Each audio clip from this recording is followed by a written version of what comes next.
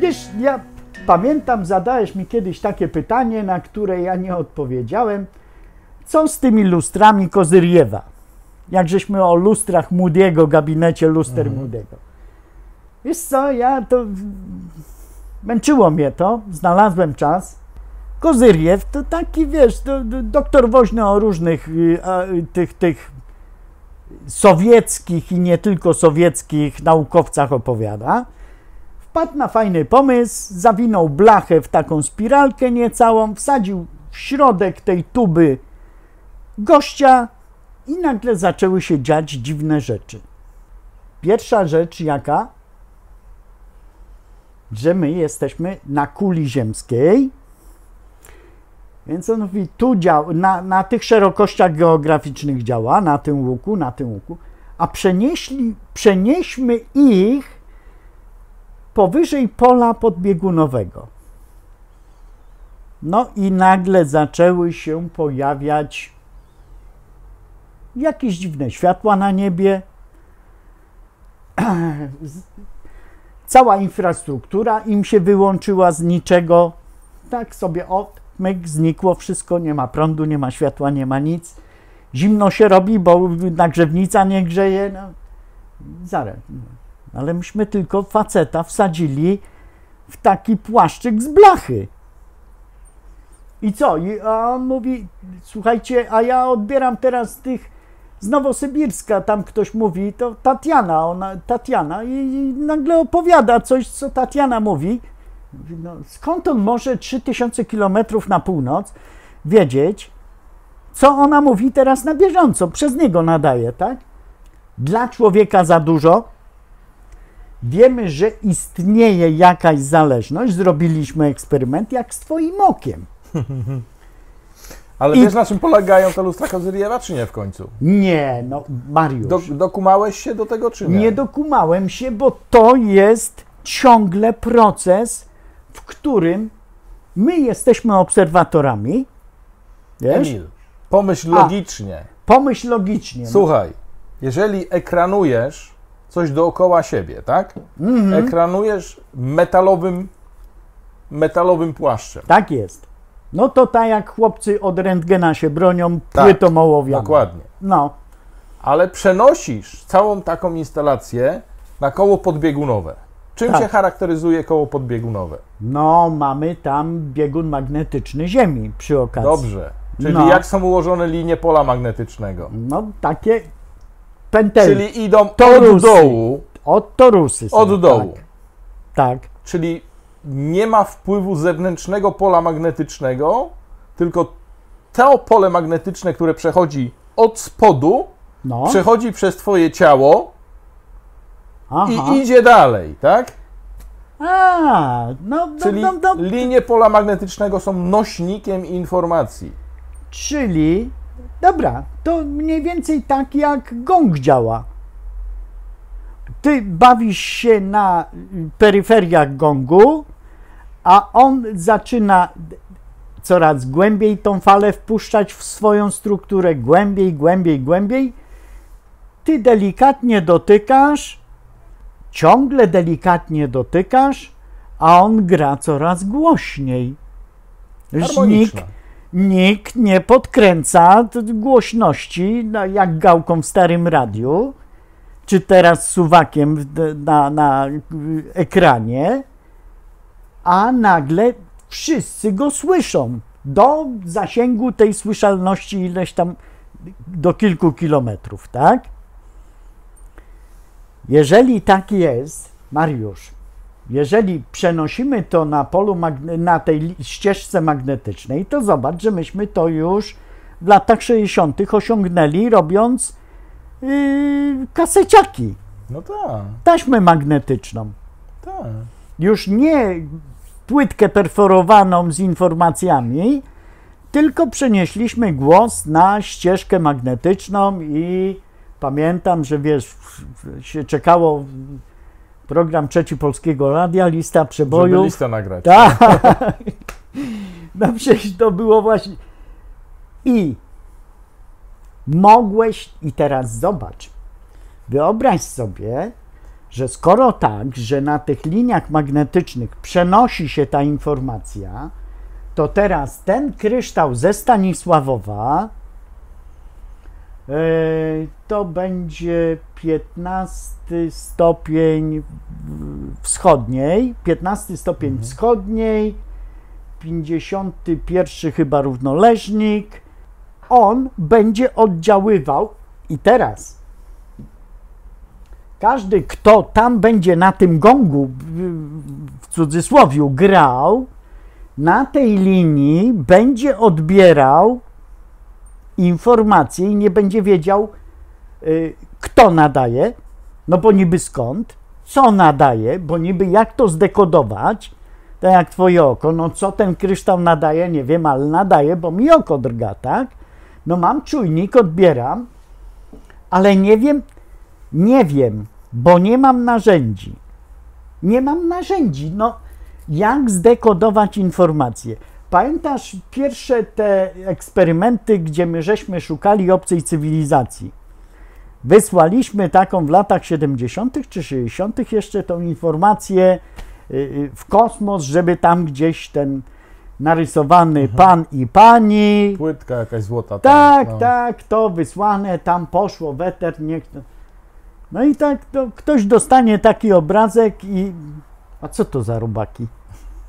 No, no tak, no słuchaj, to my siebie traktujemy jak, jak ludzi, no to tak samo jak yy, wielbłąd traktuje drugiego wielbłąda jako wielbłąda, my siebie jako ludzi, yy, my wielbłądy jako yy, no, nośnik w Egipcie do, do, z tam, do Gizy i z powrotem, Tak.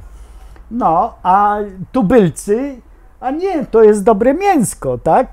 Każdy będzie traktował to inaczej. Więc jak ktoś dostał tam gdzieś, wysoka cywilizacja, te robaki, obrazek robaków i mówi, ty, te robaki tu coś nadają, tu morsem, nie wiem, czymś, kropka, kreska i tak dalej. No, ty, ale one są mało inteligentne, one ciągle 0,1. No, no jak 0,1? No tak, no już wiedzą, że jest układ słoneczny, oni są tam od Słońca, tej gwiazdy tam, nazwali to Słońce. My to inaczej nazywamy, ale niech tam... A nie, to tam nie warto lecieć, co ty, to oni jeszcze są miliony lat rozwoju mają przed sobą.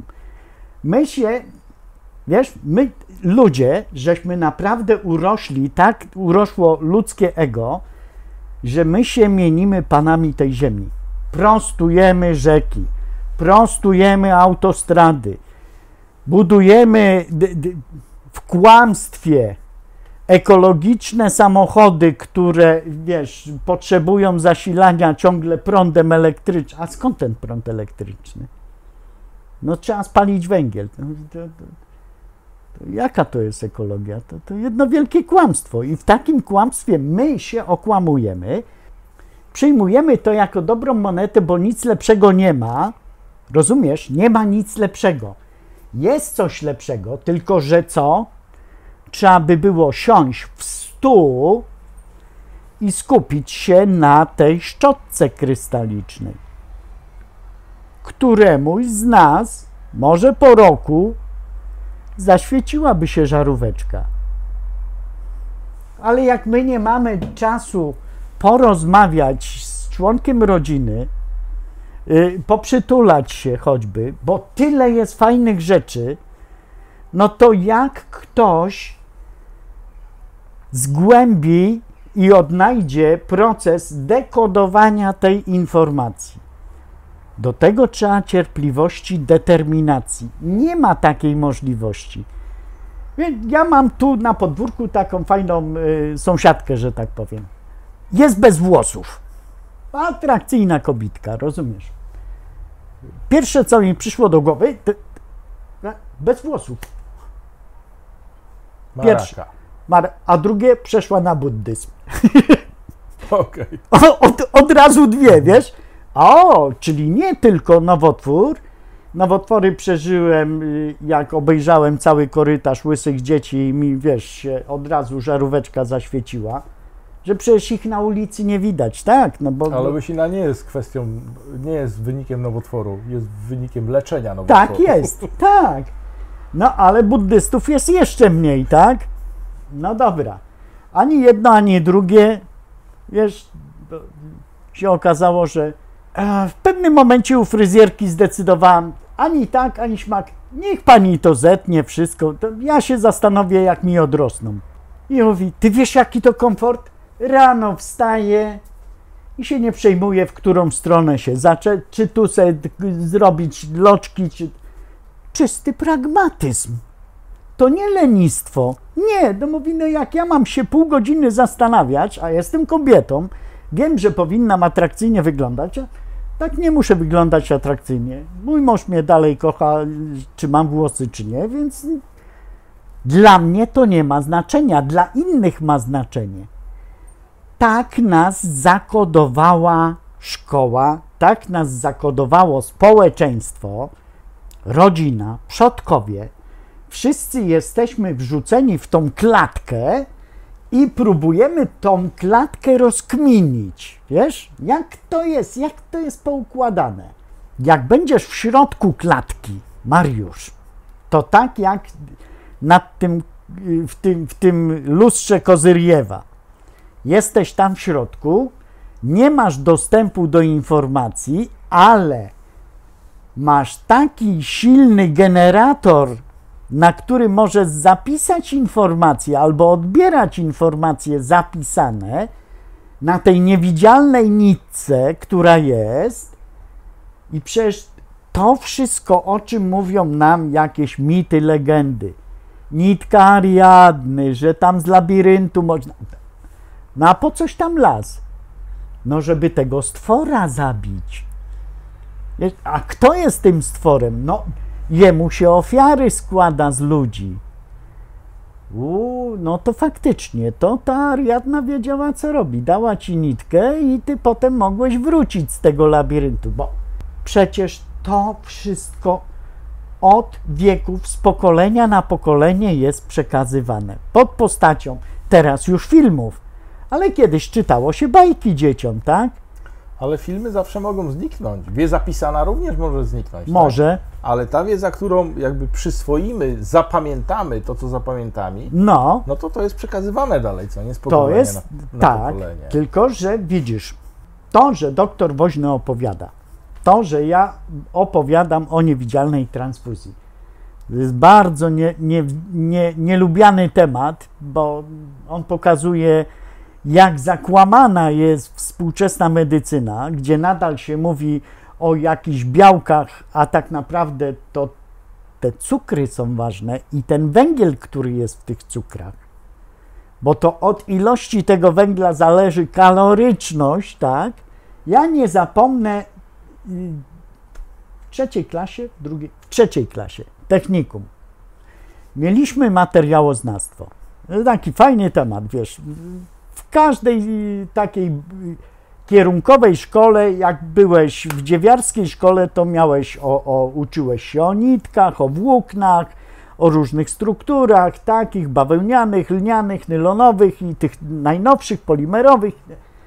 A myśmy się uczyli o stali. Wszyscy wiedzą, że żelazo to jest pierwiastek. W czystej postaci trzeba go wysublimować, tak jak miedź występuje jako ruda, trzeba to przetopić, wytopić, wytopić, dopiero będziemy mieli taki drucik miedziany, sobie specjalnie wziąłem, rozumiesz, brakuje mi jonów miedzi, więc noszę, z drucika sobie zrobiłem taki pierścioneczek, rozumiem, obrączkę. Jony miedzi przenikają przez moją skórę. Ale to nie jest czysta miedź, bo czysta miedź jest tylko w SEW pod Paryżem, rozumiesz, ten jeden gram tej czystej miedzi zatrzymany w określonej temperaturze, w określonym ciśnieniu, zamknięty wzorzec. Ale on w naturze taki nie występuje. On występuje jako tam procentowy ułamek czegoś. I w pewnym momencie dostajemy od naszego pana inżyniera, który z nami miał to materiałoznawstwo, taki super wykres, żelazo, węgiel. Ja, zaraz, jak żelazo, węgiel? To, to, no tak, no żeby przetopić żelazo trzeba węgiel. No ale jak ten węgiel się tam pakuje, to widziałeś huty, jak chłopcy na takich szuflach wrzucają ten koks tam ciągle, wrzucają, wrzucają. No. I nam pan, pan, pan, nie zap- no już widzisz, wyleciało mi nazwisko. I tłumaczy, mówi, tu jest 0,2% węgla. I to już nie jest żelazo, to jest zapewne austenit. I te kryształki węgla w tej strukturze, one się tak fajnie porozkładały i to można zobaczyć pod mikroskopem, te, jak te płyteczki świecące tu z tego kryształu. Tam jedna płyteczka ciągle mi świeci z jednego kąta, wiesz? Ciągle jak spojrzę, to idealnie w oko mi wpada. Ta jedna płytka. I co, je, co tam jest napisane? Nie wiem. Świeci mi w oko w, tylko w okre, pod, pod określonym kątem. Jak obrócę się, tyciu, ty, to już znika, już mi nie świeci.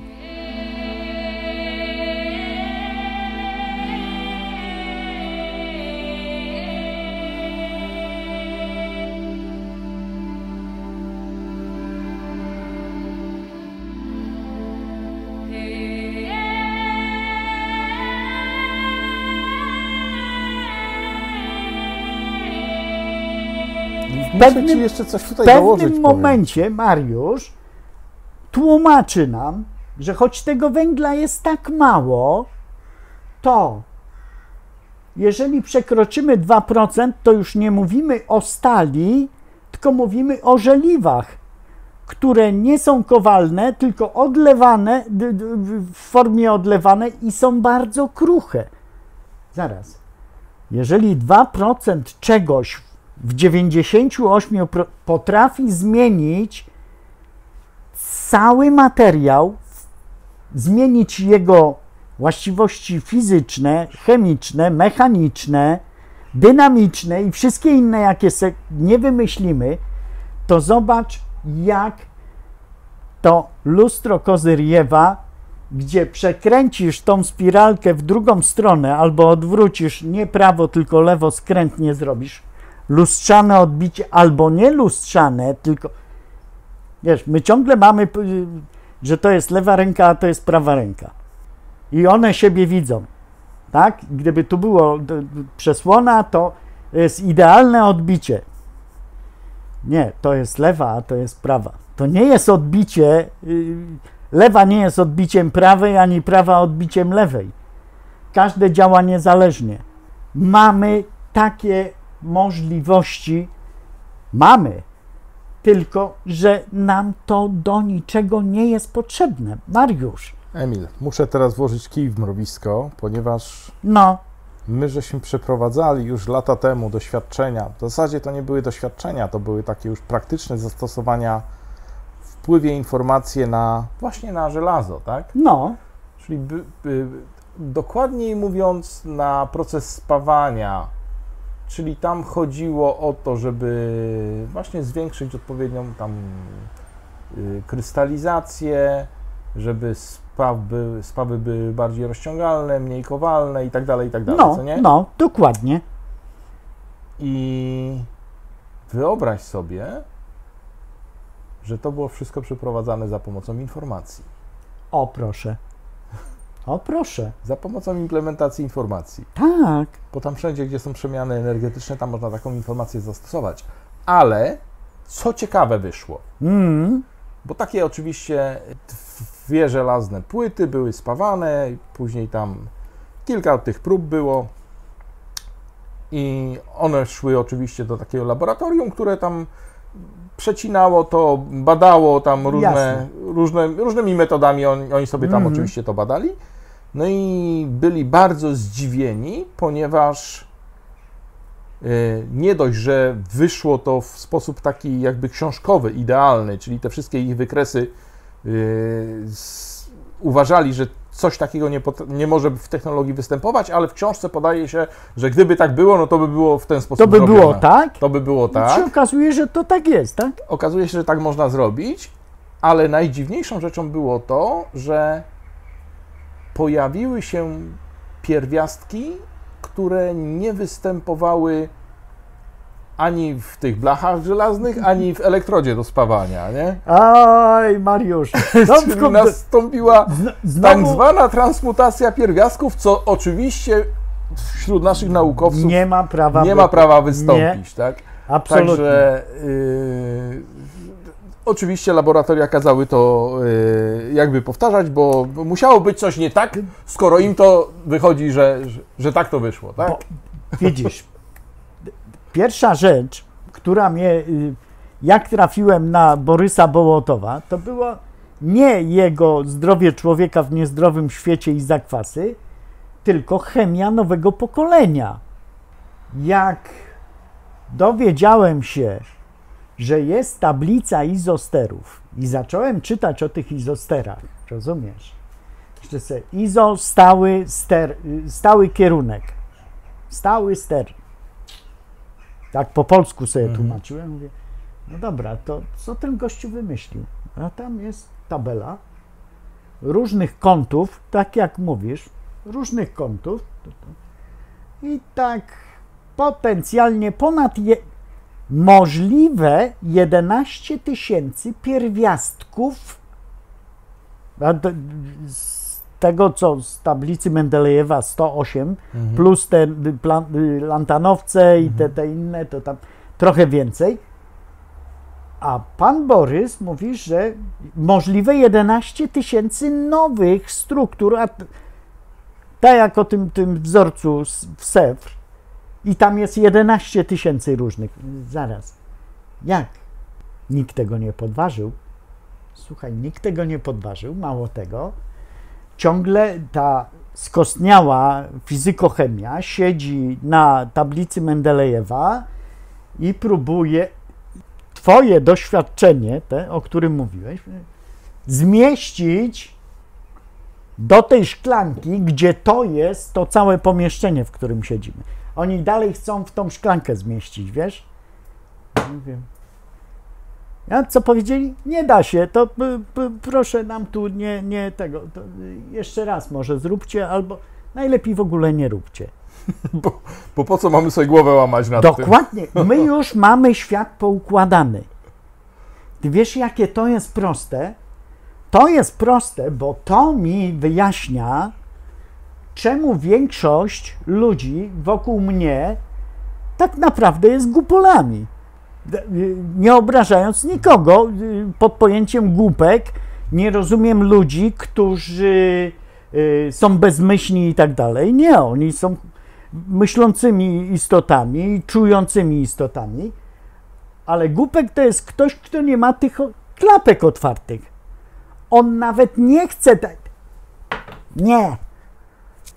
Wiesz, taki przypomina mi się dowcip z PRL-u, że Emil, za każdym razem. ludzie, którzy są sformatowani na przetrwanie, a nie na rozwój. No, polski Sejm za czasów PRL-u za każdym razem wszystko za.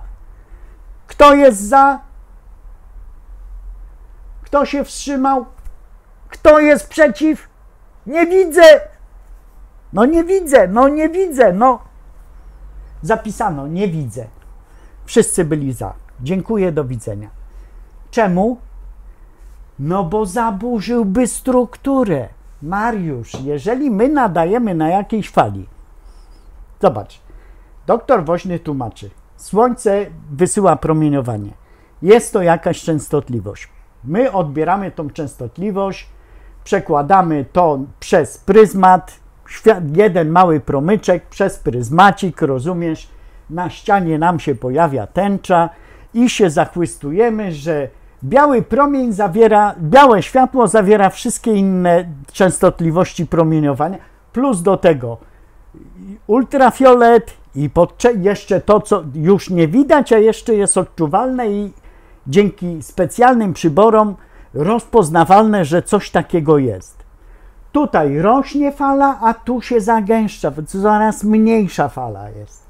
Proszę nam tego świata nie zaburzać. No już to wiemy. Tak chcemy widzieć świat i tak chcemy, w tym świecie chcemy żyć.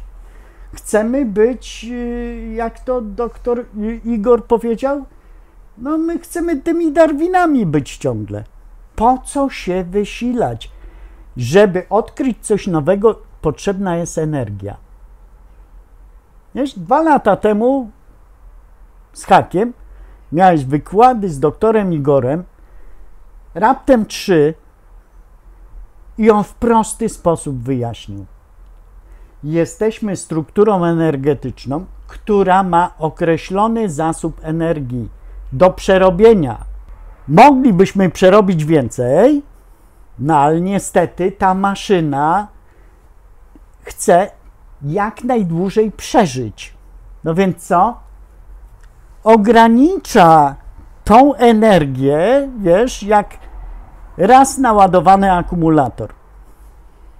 No jak tu jeden mili, miliwata tam puszczę, tu na rozruch, tu miliwata, a nie. To, a jak zatrzymam te 52% jeszcze, o, to ja jeszcze, to ja nie będę tu. Teraz nie będę jeździł, już nie będę jeździł, rozumiesz?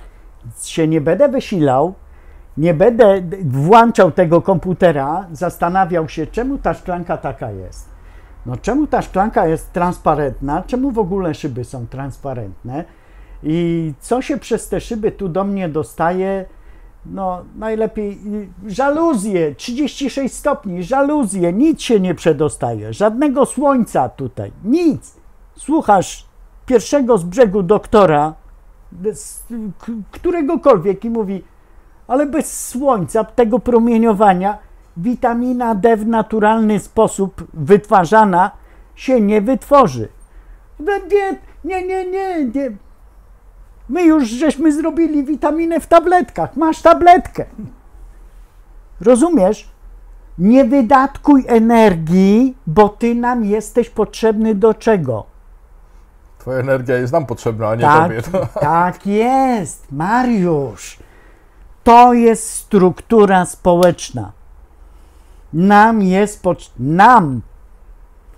Y, mówiąc nam, mam na myśli tych niewidzialnych, którzy tą strukturę sobie stworzyli, odkryli pewne prawidłowości i stwierdzili, ty, to jest fajnie poukładane. Trzymajmy się tego, nie wyjaśniajmy ludziom, ludziom, na czym to polega i wiesz, i mamy takie bioroboty chodzące.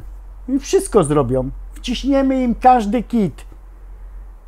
Mariusz, wyszedł jeden facet dwa lata temu w marcu i powiedział, że jest pandemia i 8 miliardów ludzi dostało pierdolca. No nie, ale to, nie, to był test na inteligencję, Emil. To no, było, to był test na inteligencję. To był test na inteligencję, Brawo. niestety, tak kurczę. To, było, to był test na to, ja, na ile możemy sobie pozwolić, tak? Na ile tak, możemy zarządzać światem. Tak, dokładnie. Okazuje się, że możemy zarządzać całkowicie. No bo jeżeli zrozumiesz, że nie zadając pytań, tylko przyjmuję. No, ostatnio miałem fenomenalne spotkanie z moimi przyjaciółmi, wiesz? Yy, oboje są nauczycielami.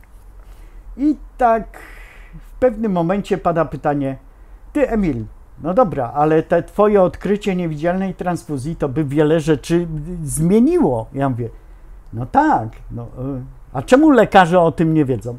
Bo to nie jest napisane w podręcznikach. No ale. Yy, no ty o tym opowiadaj. Ja mówię, no ale ja do małego grona docieram.